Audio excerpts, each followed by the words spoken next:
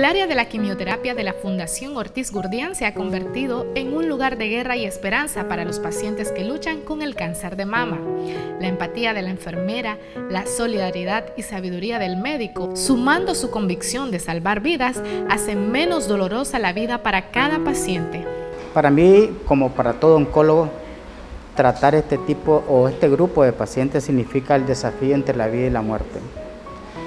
¿Por qué? Porque generalmente es en esta especialidad donde uno, yo creo que el médico debe tener la, mayor humanidad de la medicina. Porque es, además de ser una carga emocional para el paciente, pues también es una carga emocional para, para la familia. Y el médico tiene que lidiar no solamente con el paciente, sino que con la familia. Y tiene que buscar siempre la empatía para tratar de que este estos tratamientos que a veces son muy tóxicos para ellos, pues lo puedan conllevar de una manera mejor y que con la menor cantidad de efectos tóxicos secundarios. Doña Marianela es una guerrera que está a punto de lograr la batalla contra el cáncer de mama. Le faltan dos sesiones de quimioterapia. Hoy la sorprendimos escuchando música para fortalecerse. A sus 60 años jamás se imaginó pasar por este proceso. Sin embargo, se siente agradecida porque en este lugar le han tratado muy bien. Yo como cristiana que soy, ¿verdad? Que sé que nada tiene que ver esto, ¿verdad? En decirlo, pero la verdad es de que yo me agarré primeramente de la mano de Dios y después el apoyo de tu familia. La familia es un requisito muy especial, ¿verdad? Es algo tan especial que uno debe tener el apoyo de ellos.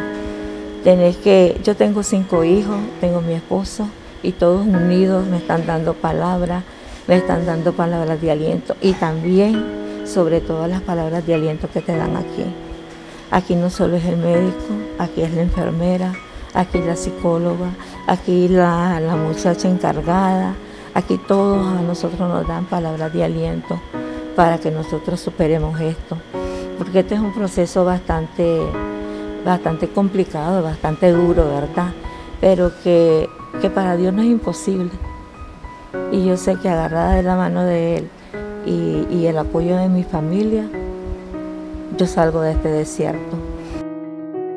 La labor de su enfermera ha sido muy importante ella ha puesto en práctica no solo sus conocimientos, también ha creado un vínculo emocional y afectivo con su paciente, pues sabe que necesitan ser fortalecidas, escuchadas y atendidas con mucho amor. Pues es una gran responsabilidad, eh, también pues es un, es, como decir, este, es una, una labor pues que no muchas personas les gusta hacer, pero eh, desde que la aprendí, desde que tengo el conocimiento, atender a pacientes con cáncer, este, me ha gustado mucho porque las pacientes muchas veces no necesitan solamente una enfermera, sino también necesitan un apoyo, un acompañamiento, necesitan una persona en quien confiar, en quien este, apoyarse pues principalmente. Eh, ya tengo ya ocho años aproximadamente de estar trabajando con pacientes con cáncer. Aquí en la fundación este, tengo casi tres años de estar trabajando con principalmente aquí cáncer de mama. El doctor Alfredo Saavedra, médico oncólogo de esta fundación, se ha entregado por muchos años a tratar pacientes con cáncer de mama. A veces junto al paciente ha sido parte de la victoria, pero también le ha tocado verlas partir. Sin embargo, como ser humano sabe que necesita seguir al lado de esta gran labor entre la vida y la muerte.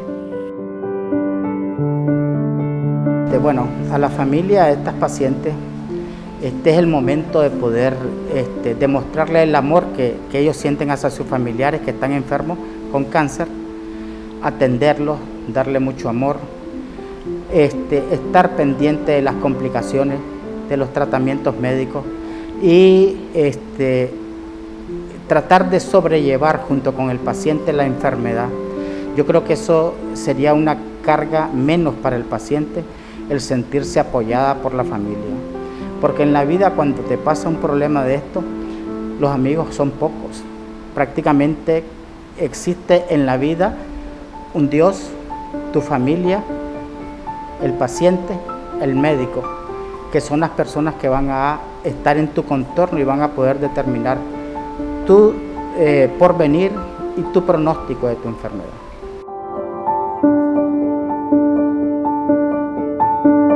Doña Marianela espera culminar su quimioterapia. Hoy le tocó recibir un tratamiento más fuerte. No hubo reacción y eso es esperanzador. Se ve que no se deja vencer por el miedo, la tristeza y la depresión, pues ha aprendido en este lugar a vivir el proceso con mucha paciencia y fe.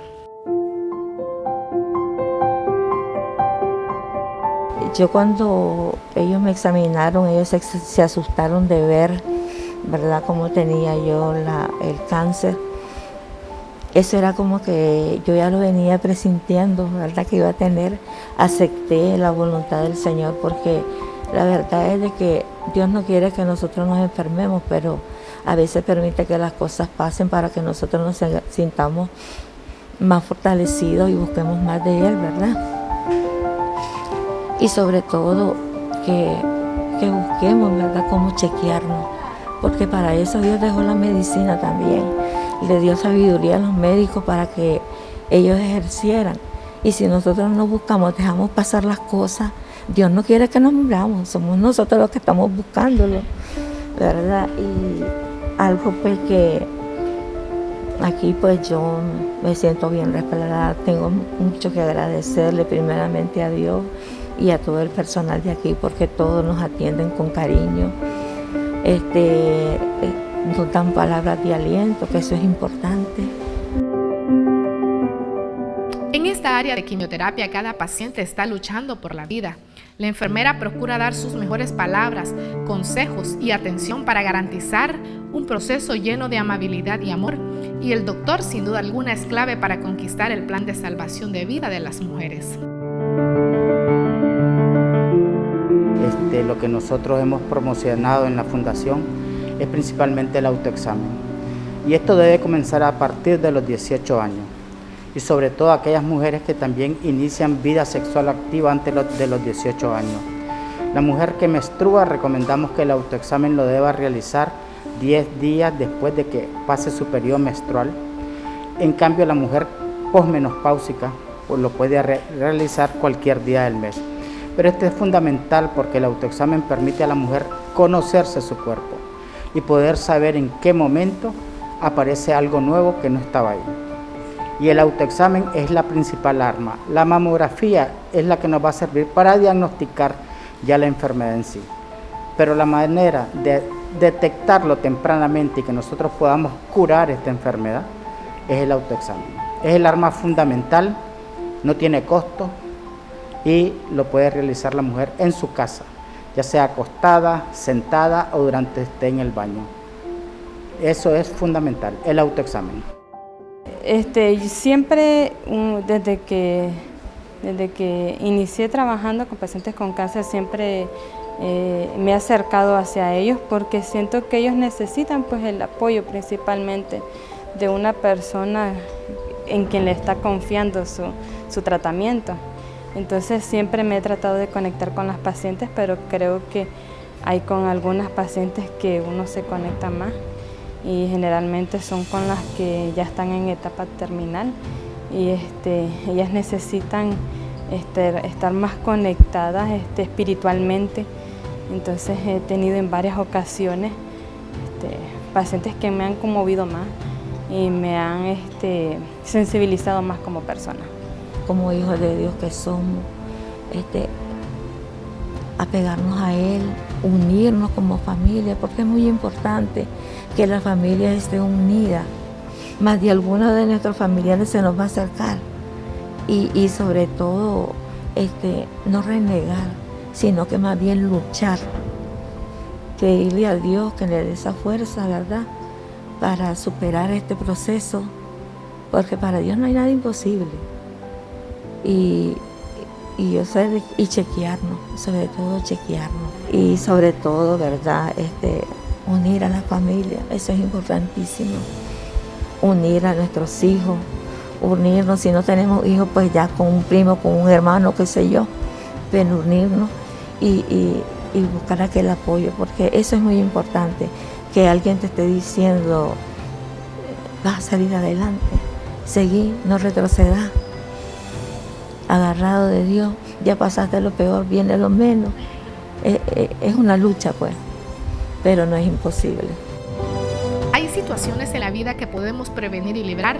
Todos viven el cáncer de mama desde diferentes ópticas, pero lo más importante y después de todo es que cada minuto y cada día sea una oportunidad para vivir al máximo, amar y servir sin medida.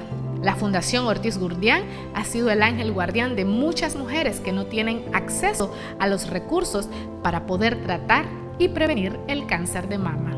Un reportaje de Daniel Hernández con colaboración de Lorena Zamora para revista La Hora de la Mañana.